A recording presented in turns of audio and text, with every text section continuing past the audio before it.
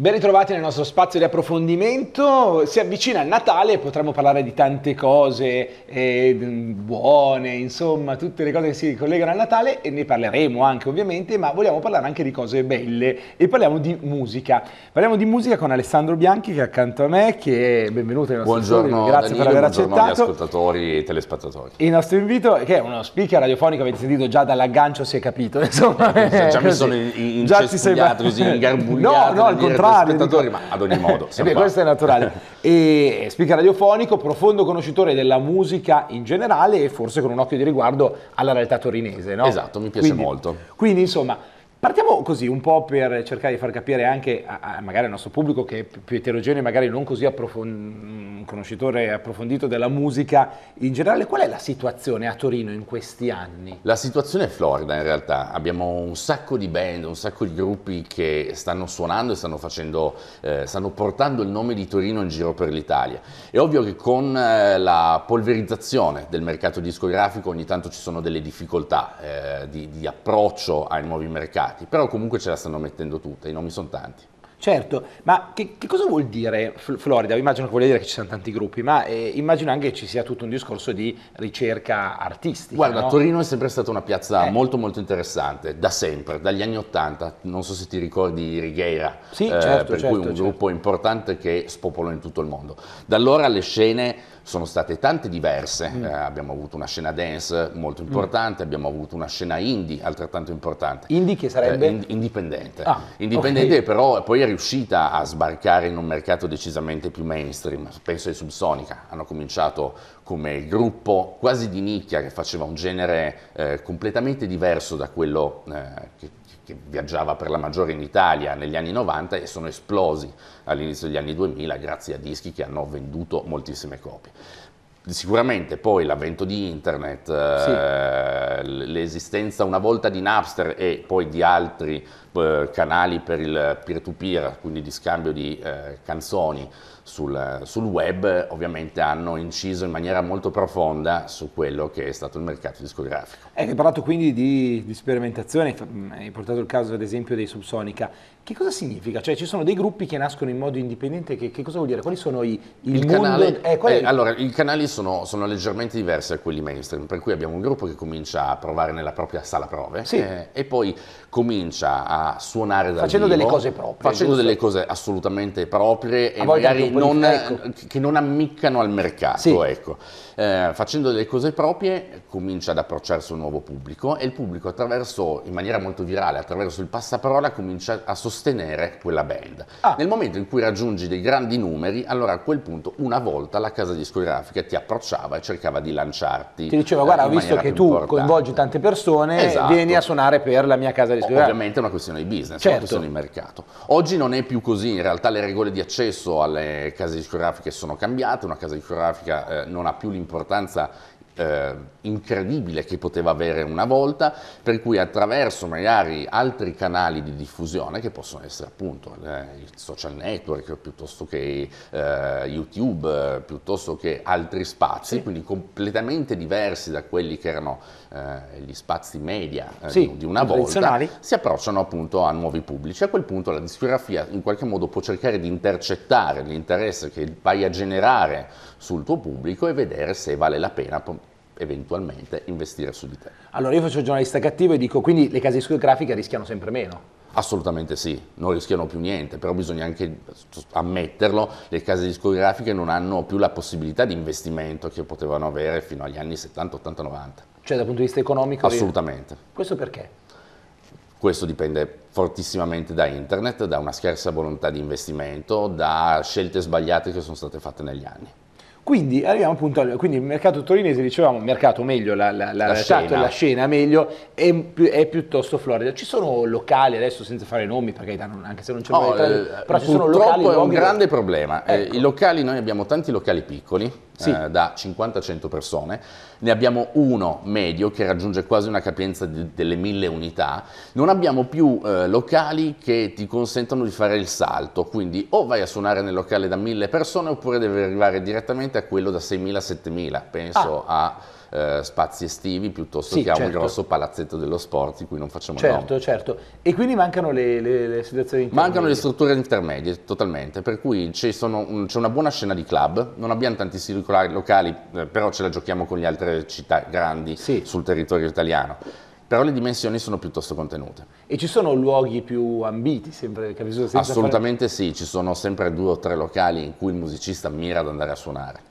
E come funziona anche in quel caso? Adesso sono domande tutte molto banali, ma insomma credo sia carino funziona, anche per conoscere. Funziona così, eh, diciamo che l'approccio è il medesimo che può, può, esserci sempre stato, per cui una band si approccia al proprietario del locale, va con il suo disco, sì. eh, perché ormai in tanti sono riusciti a pubblicare o per piccolissime etichette sì. oppure in maniera indipendente degli album. Ma perché diciamo anche vuol questo. dire che se lo sono fatti loro? Se lo sono fatti Come? loro eh, e magari hanno trovato una piccola distribuzione sì. locale. Eh, questo più o meno è sempre successo, se non che è molto più facile oggi fare un disco. Eh, mm. in casa ormai è possibile riuscire a raggiungere degli standard qualitativi piuttosto sì. alti.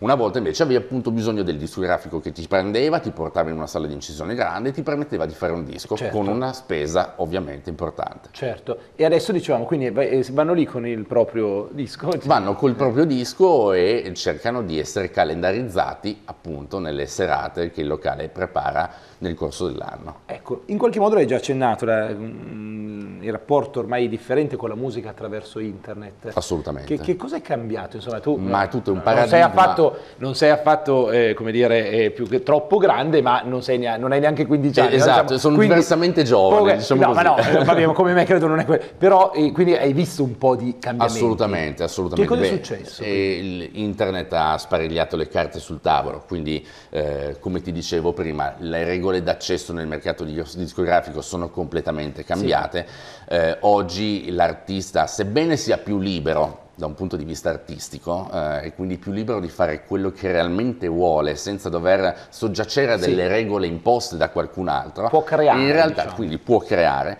però eh, difficilmente riesce ad ad accedere a quello che è il mercato, quindi riuscire a vendere, riuscire a guadagnare di musica, può farlo attraverso i live. Più è bravo, più avrà la possibilità di sì. suonare live in tante eh, situazioni differenti. Quindi in realtà spesso, magari possiamo, a parte che se c'è qualche gruppo torinese possiamo citarlo, non, non c'è nessun Assolutamente. problema. E mi chiedo, quindi in realtà alcuni gruppi magari preferiscono anche mettere la propria musica a disposizione gratuitamente?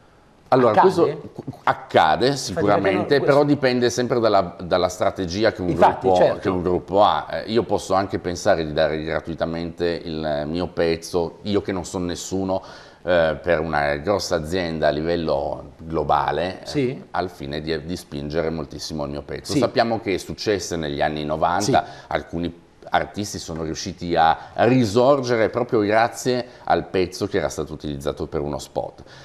Ciò nonostante bisogna ammetterlo, è tutto molto difficile, proprio perché c'è una polverizzazione del mercato, è frammentato in maniera E invece proporlo diseguale. al pubblico in modo gratuito, beh, attraverso YouTube ad esempio, attraverso YouTube e poi, ma... beh, le, le, possibilità di, di, di, digital store ti consentono sempre di fare degli, degli ascolti gratuiti, ci sono delle piattaforme su internet dove puoi ascoltare direttamente l'album ed eventualmente scegliere se comprarlo in una seconda battuta. Quindi eh, l'idea è quella all'inizio di promuoversi il più possibile, soprattutto attraverso il web, web e poi cercare di fare in modo che la gente venga a sentire. Funziona, se non che a un certo eh. punto c'è un cortocircuito, perché eh. la gente comunque ti ascolta e non è così automatico che compri il tuo disco, certo. quindi può venire a scegliere di venirti ad ascoltare dal vivo però vendere dischi diciamo che in questo momento è estremamente difficile, ma ce lo dice proprio il mercato. Eh, una volta eh, riuscivi a conquistare un disco d'oro vendendo almeno eh, un, 200.000 eh, copie, oggi se ne vendi 10.000 ti porti a casa un disco, un sì, disco sì, d'oro. Sì, sì, avevo sentito un'intervista a qualche cantante anni 60, magari quelli esatto. storici italiani che dicevano... E una volta, sai, riprodurre la musica era impossibile, sì, potevi farti la cassettina, ma ormai con eh, i formati digitali, sebbene la qualità, la qualità non sia eh, all'altezza di un originale, ti consente di portarti la tua musica dappertutto e di ascoltarla quando vuoi. Certo.